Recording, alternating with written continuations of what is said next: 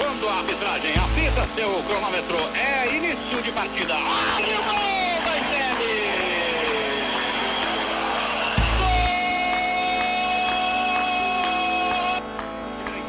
Olha a ligação de bola de novo lá pelo setor da direita. Passou o primeiro, passa mais, hein? Passou o primeiro, passa mais. Dieguinho de novo!